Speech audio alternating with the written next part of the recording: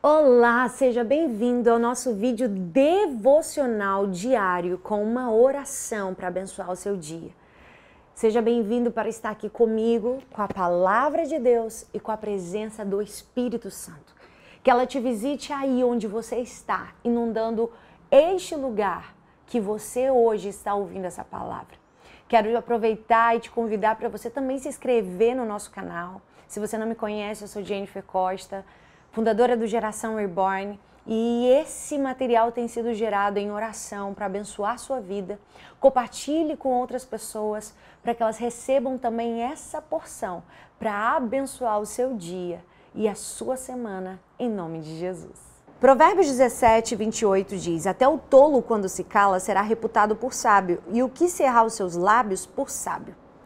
Um dos grandes problemas dessa geração, dos nossos dias tão conectados, é a incapacidade do ser humano de silenciar e se silenciar também. São tantos estímulos que a gente acaba viciado em ver, ouvir, interagir, que a gente termina não conseguindo ter um pouco de paz no nosso coração. Vivemos em um mundo barulhento. O fato do silêncio ser tão raro só confirma o quão precioso o silêncio é. Quantos problemas poderiam ter sido resolvidos apenas com silêncio? E na verdade, alguns deles sequer teriam surgido se não fossem palavras ditas erradas, nas horas erradas e da maneira errada. Por incrível que pareça, calar sempre é mais difícil do que falar. No entanto, grande é o poder do silêncio. E é sobre isso que eu quero refletir com você, a sabedoria no silêncio. Como uma árvore que cresce, se desenvolve sem ser notada. Nossa vida interna profunda adquire amplitude no silêncio. Se por um lado a Bíblia diz que na multidão das palavras não falta transgressão, Provérbios 10, 19, ela também diz que até o tolo, quando se cala, é tido por sábio. Quem fala menos erra menos. E o que aprende a se calar adquire autoridade em seu falar. Também no silêncio, a força. Não apenas um silêncio de boca, mas um silêncio de alma profundo no nosso interior, uma quietude interior que se volta para Deus em confiança. Assim escreveu o profeta Isaías: no arrependimento e no descanso está a salvação de vocês. Na quietude e na confiança está o seu vigor. Isaías 35. E ainda existem momentos em que se calar é vital.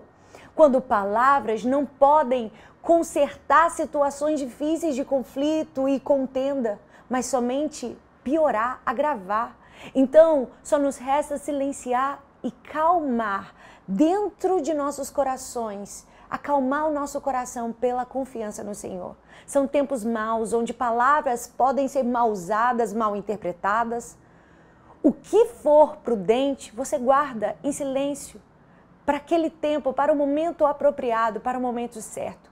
Como disse o salmista, aquietai-vos e sabei que eu sou Deus. Serei exaltado entre as nações, serei exaltado sobre a terra. Salmo 46, 10.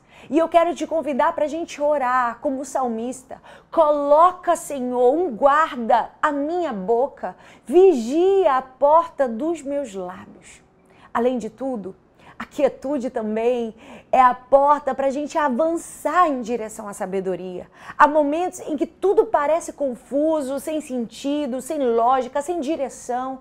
E é exatamente nessas horas que eu te convido a você praticar o hábito de prestar atenção no silêncio, calar as vozes interior e aquietar o seu coração e ouvir a voz do Espírito Santo falando dentro de você. Ele vai te dar as palavras, as respostas que você precisa. Muitas vezes a gente acha que a resposta está do lado de fora e a resposta está do Espírito Santo dentro de você, falando no seu coração. E ele sempre nos dá a direção certa. Ficar em silêncio é uma prática que só você pode empreender, só você pode decidir, só você pode determinar, viver e fazer. Então, Procure ferramentas para você separar um, um momento para isso, cultivar o silêncio para que a sua vida não, não caia na frenética e ensandecida rotina do fazer. A parte interessante de quando você cultiva momentos de silêncio é que no final, quem convive com você também vai colher os, os frutos de alguém que aprendeu a parar e silenciar tudo à sua volta. Alguém que sabe ficar em silêncio é também alguém que consegue ter paz. E também consegue ter uma imensa capacidade de ouvir e compreender o mundo. Quem se silencia, ouve. Percebe coisas que o seu frenético barulho interno ou externo não te permite acessar. É quando você decide largar o controle e ouvir que você vai realmente escutar e perceber os detalhes que muitas vezes escapam à nossa percepção e à nossa capacidade de poder ver e analisar. Quem não para nem por um minuto, quem muito fala acaba controlando uma conversa e sem perceber os detalhes mais importantes, as lições não são percebidas. E tudo passa desapercebido. E é nesse momento que nós precisamos entender que a quietude também vai nos fazer, muitas vezes, olhar para quem está sorrindo, mas está escondendo uma lágrima atrás de um sorriso. O silêncio é poderoso. Ele nos ensina a escutar e a ver coisas que, em meio ao barulho, a gente não pode perceber. Que você, nesse momento, possa decidir silenciar mais, se calar mais e confiar mais. Porque quem silencia contempla a Deus. Quem silencia vê a Deus. Quem silencia escuta a voz de Deus. Às vezes o grande problema não é que Deus não está falando. Às vezes o grande problema é que a gente não silenciou o suficiente para ouvir a voz do Espírito Santo.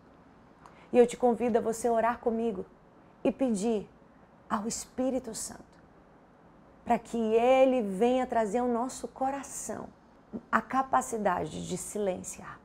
Amém? Ore comigo. Amado Deus, estamos aqui, Senhor, prostrados em tua presença, reconhecendo a tua grandeza, reconhecendo e honrando essa palavra. Se essa pessoa, Senhor, que está aqui agora me ouvindo, chegou até esse momento da oração, é porque ela está dizendo que a tua palavra é importante para ela. A tua palavra é decisiva para ela. E eu quero te pedir, Deus, que essa palavra gere frutos nesse coração hoje. Pessoas que muitas vezes vivem batalhas e travam batalhas justamente porque falam muito, falam que não deve, quando vê já escapou as palavras. Mas eu quero te pedir, Deus, coloca um guarda nos nossos lábios. Nos ensina a falar no tempo certo, da maneira certa e nos ensina, acima de tudo, a quietar o nosso coração, para que possamos te contemplar e saber, Deus, que não serão as nossas palavras que vão resolver, mas será, Deus, quando nós aprendermos a silenciar, porque quem silencia confia, quem silencia depende e deixa o Senhor agir.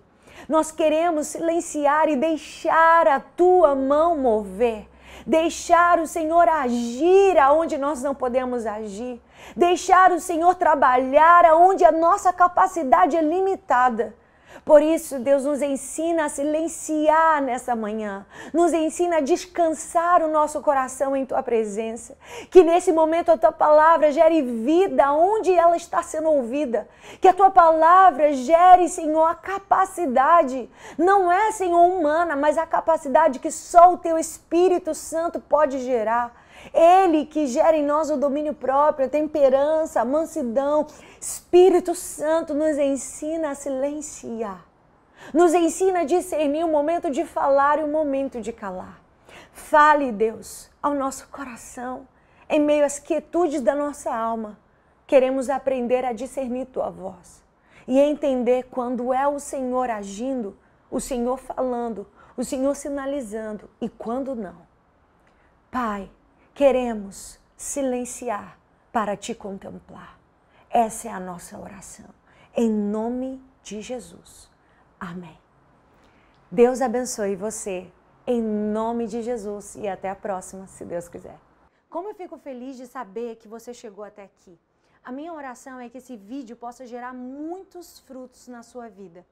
Se você ainda não conhece, nós temos um ministério Geração Reborn de Mulheres, que de segunda a sexta nós enviamos um áudio devocional que se chama Quarto de Guerra. É gratuito, é só você entrar, ser abençoada. Acontece tanto no Telegram quanto no WhatsApp. E ali você vai sendo nutrido pela palavra de Deus. E não só isso, nós também temos ferramentas para te ajudar a você avançar no seu tempo e comunhão com Deus. Você pode acessar a nossa loja no www.geraçãoreborn.com.br. Tem o nosso pleno devocional, pão diário, livros, bíblias para te ajudar a você crescer na sua comunhão. E também quero sugerir mais dois vídeos para você continuar caminhando aqui conosco e sendo abençoada pela palavra de Deus. Vou deixar aqui disponível para você. Compartilhe esse vídeo com outras pessoas e continue sendo abençoado pela poderosa palavra de Deus.